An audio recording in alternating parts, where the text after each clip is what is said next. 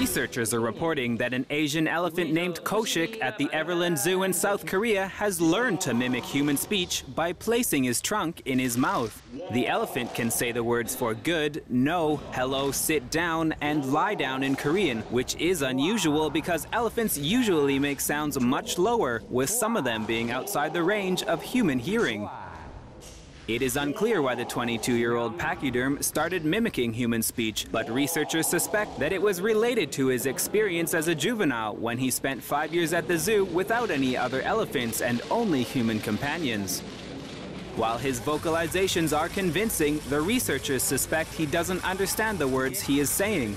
Despite this, Koshik has become a huge hit with the media and has been attracting many tourists with his unusual ability. He joins a list of species which are already known to be able to mimic humans, such as parrots and crows, and other more unusual species such as sea lions and beluga whales.